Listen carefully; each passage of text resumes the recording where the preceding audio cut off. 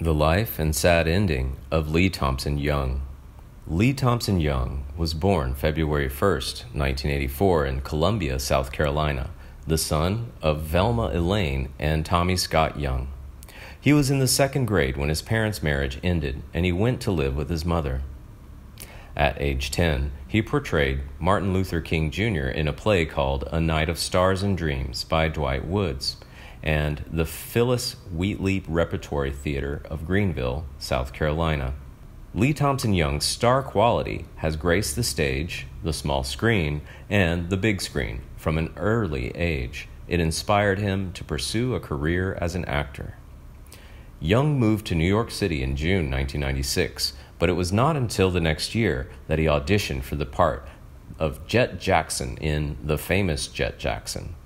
And then he became famous for that role. He filmed the pilot and found out in June 1998 that the Disney Channel had picked up the show. Young also starred in Johnny Tsunami 1999, another Disney Channel original movie, as Sam Sterling.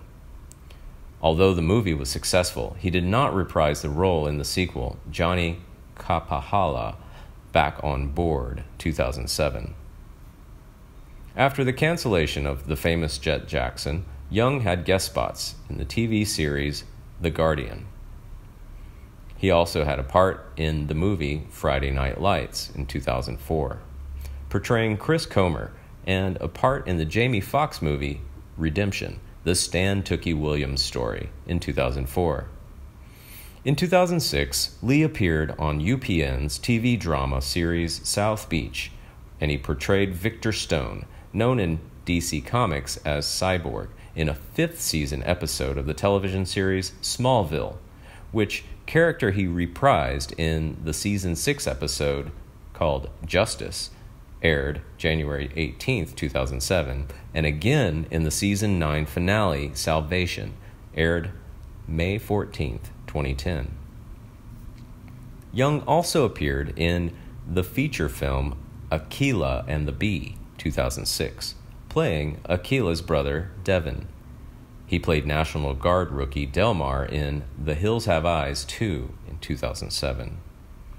Young graduated with honors from the University of Southern California, where he majored in cinematic arts and was a member of the Kappa Alpha Psi fraternity. Young enjoyed writing and wrote the screenplay for the 2007 short film Mono. In 2009, Young played a cocky surgical intern at the hit comedy show Scrubs. It was revealed that his character had been overweight during childhood. The character becomes involved in a romance with one of the medical interns. Young played the role of Al Gough, an FBI agent in the ABC television drama Flash Forward. He was written off the show in episode 7 when his character committed suicide to prevent the death of an innocent civilian. His last acting role was playing Barry Frost, partner of Jane Rizzoli, played by Angie Harmon, on the TNT drama Rizzoli and Isles. And he made an appearance on the Fox drama The Good Guys as the brother and business partner of an arms dealer. On August 19, 2013, Young failed to show up to film an episode of Rizzoli and Isles. Police were called to do a well being check on him at his Los Angeles apartment, where he was found dead. He was only 29 years old. Police confirmed the cause of death as a self inflicted gunshot wound. Young had been diagnosed with bipolar disorder, for which he had been taking medication, and had been suffering from depression before his death. After funeral services at Inglewood Park Cemetery, Young was interred at Lakeview Memorial Garden, York, South Carolina. A three hour memorial service was held on the Paramount Studios lot.